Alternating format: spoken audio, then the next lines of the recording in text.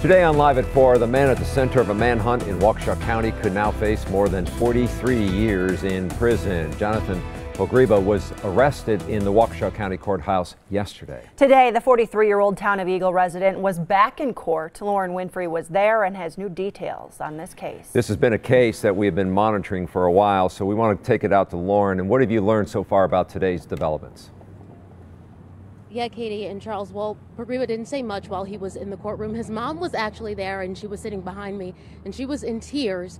Uh, we do know that two additional charges have been added. That's now six total, which is has increased the penalties assigned to him. And they do believe he is a flight risk, so that's why the court has set his bail at $150 in cash.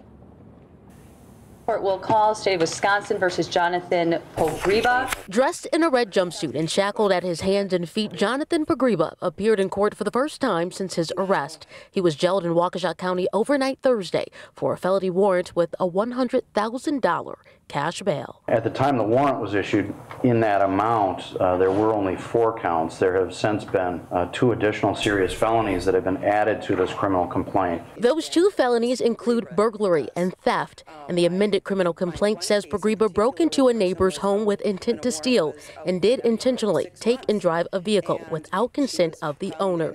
But his attorney, Donna Kukler, says Pogreba wasn't aware of the initial outstanding warrant. No one served him with a warrant. He didn't have actual notice of a warrant until a certain point in time. When he became aware of the warrant and he got a hold of us, we made arrangements to get him here. Pogreba led law enforcement on a manhunt earlier in the month after a domestic incident involving his wife and son. He's accused of threatening his wife with a gun and slamming her head into a garage door. And court documents indicate the note Pogreba left behind while on the run for weeks reads, I am evil and hoping soon you all forget about me.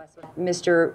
Pogreba was in fugitive status for a number of days. I am aware that he turned himself in, uh, but Mr. Pogreba did decide to run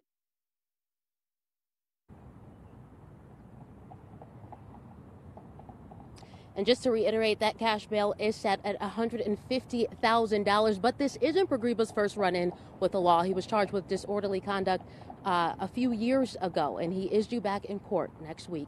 Reporting live outside the Waukesha County Courthouse, Lauren Winfrey, today's TMJ4. All right, Lauren, thanks.